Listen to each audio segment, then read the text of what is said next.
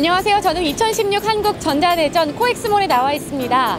윤은석 이사님과 함께 P&I 시스템에 대해서 알아보도록 하겠습니다. 이사님 안녕하세요. 안녕하세요. 네, P&I 시스템 어떤 회사인가요? 저희 P&I 시스템은 3D 애니메이션과 3D를 이용한 VR 제작과 시뮬레이터를 제작하는 업체입니다. 본사는 제주도에 있고요. 네. 저는 서울 쪽에서 하드웨어와 미드웨어를 제작하고 있습니다.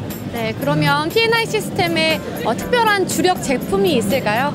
네, 저희 제품은 좀 뒤에 보시는 것처럼 어, 일반인들이 즐겁게 탈 수 있는 attraction, 그다음에 군사용 attraction, 네, 군사용 attraction, 군사용 시뮬레이터하고 향후에는 B2C 시장에 들어갈 수 있는 walking 시뮬레이터까지 다 개발을 완료해 놓은 상태입니다. 그러면 P&I 시스템의 특장점이 뭐가 있을까요? 다른 회사와 비교를 했을 때 이것이 큰 장점인 것 같다라고 대중들에게 어필할 수 있는 점이 무엇이 있을까요? 저희 시뮬레이터는 다른 거와 다르게 인터랙티브를 지향하는 시뮬레이터예요.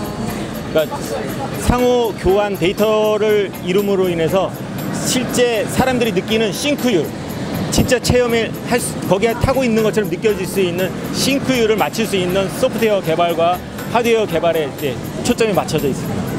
직접 느끼는 것처럼 하기 위해서 그런지 지금 뒤에 보면 많은 분들이 지금 직접 체험을 하고 계시는 모습을 볼 수 있는데요. 어, 2016 한국 전자대전에 참여하신 소감이 어떠신가요?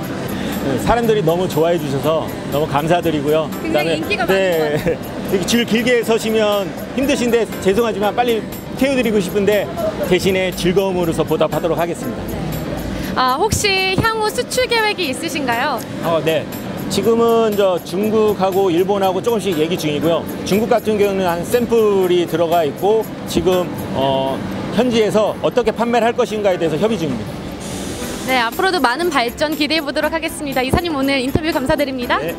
네, 지금까지 P&I 시스템이었습니다.